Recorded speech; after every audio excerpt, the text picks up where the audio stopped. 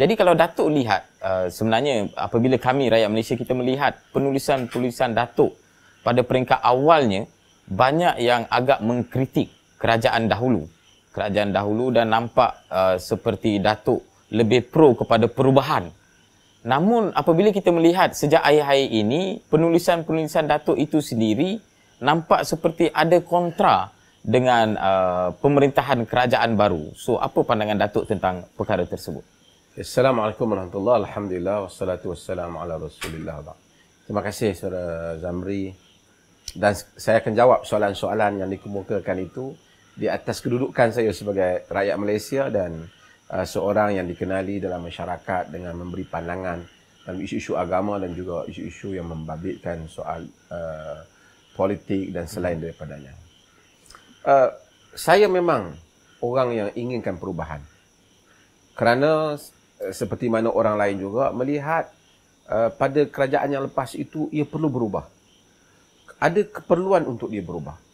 Kerana kita tahu bukan ada isu agama, isu-isu pentadbiran dan berbagai-bagai lagi. Dan saya memegang falsafah yang disebut oleh Al-Imam Syafi'i hmm. dalam satu syair yang disandarkan kepadanya. Dia menyatakan, Inni ra'aitu uqufal ma'i yufsiduhu insala taba wa illam yajri lam yatib. Aku melihat uh, air yang duduk setempat yang hmm. tidak bergerak itu merosakkannya. Uh, air yang tak bergerak itu merosakkan air. Jika sekiranya ia mengalir itu baik, jika tak mengalir itu tak baik.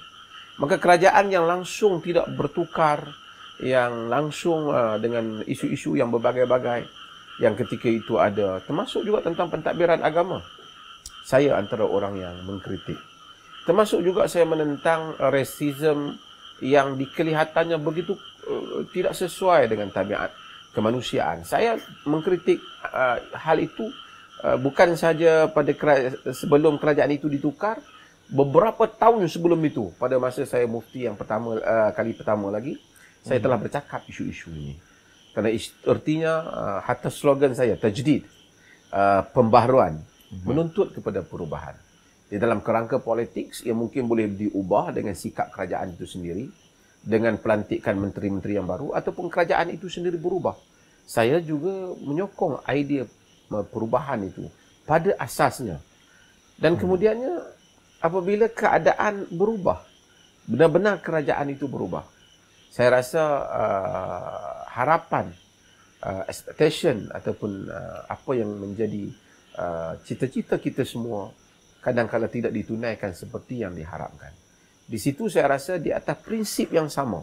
Di mana bahawasanya saya bercakap ketika kerana inginkan perubahan. Jika dia kerajaan itu tidak berubah, uh-huh. dia datang dengan satu masalah yang lain, kita kena juga bersuara seperti mana yang kita bersuara sebelum daripada itu.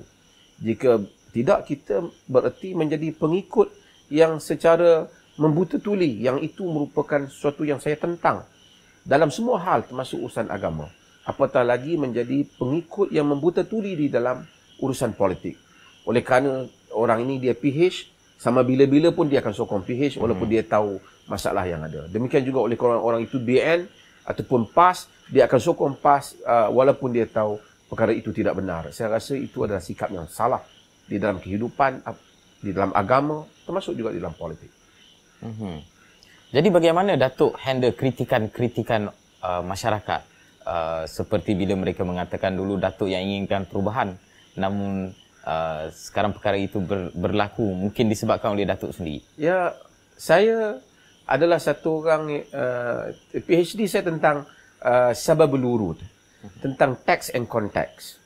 Uh, saya bercakap menyokong dalam satu konteks. Tetapi apabila konteks itu berubah, kita berubah. Tadi saya sebut tentang Al-Imam Syafi'i. Beliau juga mempunyai fatwa uh, uh, yang lama dan fatwa yang baru. Uh-huh. Qaul qadim dan qaul jadid. Ketika di Iraq, dia ada pandangannya. Ketika di Mesir, dia ada pandangannya kerana keadaan yang berubah. Uh, saya menyokong perubahan. Tapi apabila uh, orang yang telah kita tabalkan untuk melakukan perubahan itu, pada saya melakukan perkara-perkara yang tidak wajar, kita kita sepatutnya untuk untuk mengkritik hal itu. Jika kita tidak mengkritik, kita mengulangi masalah yang lepas. Jadi ini adalah masalah apabila setengah orang dia tak nak berubah. Hmm. Bila sudah berubah, dia kata tak boleh pula kritik yang berubah. Hmm. Ini salah. Untuk menjadi man of principle, untuk menjadi manusia yang berprinsip seperti mana awak bersuara pada kerajaan yang lepas, awak mesti bersuara pada kerajaan yang baru. Melainkan sekiranya kita mengambil satu sikap, saya akan jadi uh, satu orang penyokong setia di atas apa saja, itu saya rasa bukan watak saya dan itu bukan watak yang sepatutnya untuk menjadi satu insan yang maju dan berprinsip termasuk dalam hal ehwal agama.